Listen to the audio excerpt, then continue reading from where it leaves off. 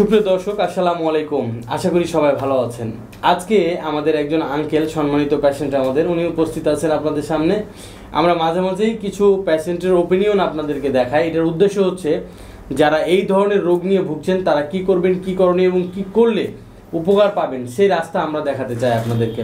দর্শক uncle stroke করেছিল। Stroke করার পর বিভিন্ন জায়গায় চিকিৎসা নিয়েছেন তিনি। নেওয়ার পরেও একটা প্রবলেম তার রয়ে গেছিল। অর্থাৎ উনি অনেক কিছুই পারতেন না, যেগুলো তার মুখ থেকে আমরা শুনব। চলুন দর্শক, আমরা আঙ্কেলের সাথে পরিচয় হই এবং কীভাবে সে আমাদের এখানে আসছে, সে বিস্তারিত ঘটনা আমরা শুনি আজকে।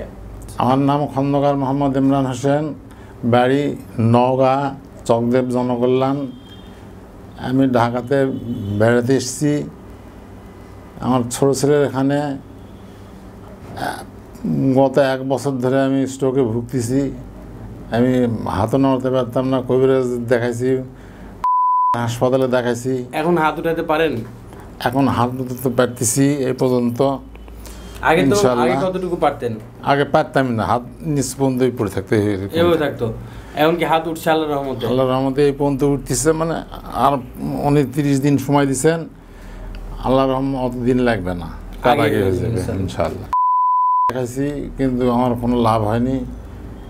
কবিরাজও দেখাইছি, দুই বছর প্রায় কবিরাজ দেখাইছি, না, ছয় মাস, ছয় মাসের উপরে কবিরাজ দেখাইছি, কোনো লাভ হয়নি, দেন কালো কালো দাগ করে ফেলেছে, ঘা করে ফেলেছে।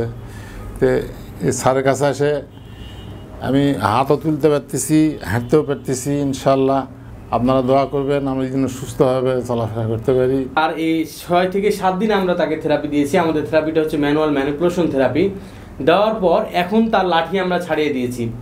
সে আগে লাঠি ছাড়া কোনোভাবে হাঁটতে পারতো না। লাঠি নিয়ে তাকে হাঁটতে হতো। ইনশাল্লাহ আল্লাহ রহমতে আমরা কয়েকদিন তাকে থেরাপি দিয়েছি। থেরাপি দেওয়ার পর সে কিন্তু লাঠি ছেড়ে দিয়েছে অলরেডি চলুন দর্শক, লাঠি ছাড়া কীভাবে হাঁটছে সেটাও আমরা আপনাদেরকে দেখাবো।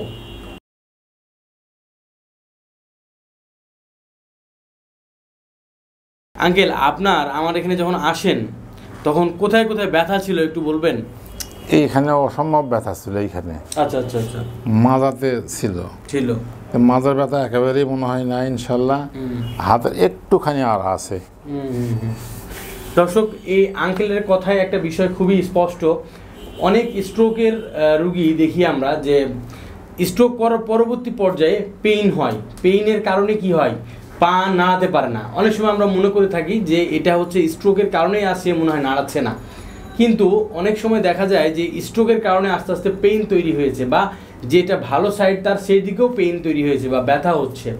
যে কোনো কারণেই হতে পারে মাসেল স্পাজম হতে পারে ডিক্সে প্রবলেম হতে পারে মাসেল টাইটনেস হতে পারে, অনেক সময় মাসেল ক্র্যাম করতে পারে, এরকম নানান কারণে কিন্তু পেইন হয়।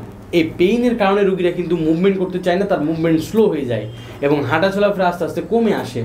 তো আপনাদের সচেতনতার একটা খুব গুরুত্বপূর্ণ বিষয় যে, যদি দেখেন যে রুগী হঠাৎ ভালো ছিল, ভালো থাকতে তো আবার খারাপ হয়ে যাচ্ছে, তখনই বুঝতে হবে নিশ্চিত মাসেল উইক হয়ে যাচ্ছে বা মাসেল উইকনেস গ্রো করতেছে, অথবা পেইন তৈরি হয়েছে কোথাও, অথবা তার যে নর্মাল অ্যাক্টিভিটি ছিল সেটা আস্তে আস্তে কমে আসছে, তার মাস্কুলার ইমব্যালেন্স তৈরি হচ্ছে বা ব্যালেন্স কমে যাচ্ছে। তো এরকম যখন প্রবলেম আপনাদের ক্রিয়েট হবে, তখন আপনারা অবশ্যই সিরিয়াসলি এই বিষয়গুলো দেখবেন এবং এটাকে ছোট করে নেবেন না। অবশ্যই একজন ফিজিওথেরাপি বিশেষজ্ঞকে দেখাবেন। একজন ফিজিওথেরাপি চিকিৎসকই পারে এই বিষয়গুলো খুব ভালো মতো নিবিড়ভাবে ট্রিটমেন্ট করতে এবং এই এক্সারসাইজ প্ল্যান এবং রিহ্যাব প্ল্যান অর্থাৎ রিহ্যাবিলিটেশন প্ল্যানের মাধ্যমে একটা রুগীকে স্বাভাবিক জীবনে ফিরিয়ে আনা সম্ভব। দর্শক, যারা এরকম আঙ্কেলের মতো স্ট্রোকের সমস্যায় ভুগছেন বা স্ট্রোক করেছেন করার পরও দেখা যাচ্ছে যে কোনোভাবেই ইমপ্রুভ হচ্ছে না। তারা অবশ্যই এই ফিজিওথেরাপি চিকিৎসা নিতে পারেন। ম্যানুয়াল ম্যানিপুলেশন একটা আপডেট চিকিৎসা, যে চিকিৎসার মাধ্যমে অল্প সময়ের মধ্যে রিহ্যাব করা হয়। এবং যদি ভালো করার মতো পর্যায়ে থাকে, আলহামদুলিল্লাহ খুব দ্রুত সেটা ভালো হয়। আঙ্কেলকে আমি বলেছি এক মাস লাগবে, কিন্তু আমরা সাত দিনেই আল্লাহর রহমতে সিক্সটি সেভেন্টি পার্সেন্ট বা প্রায় সিক্সটি পার্সেন্ট বলা যেতে পারে ইমপ্রুভমেন্ট পেয়েছি আমরা। তো দর্শক আজ এ পর্যন্তই। ভালো থাকবেন সুস্থ থাকবেন। আসসালামু আলাইকুম।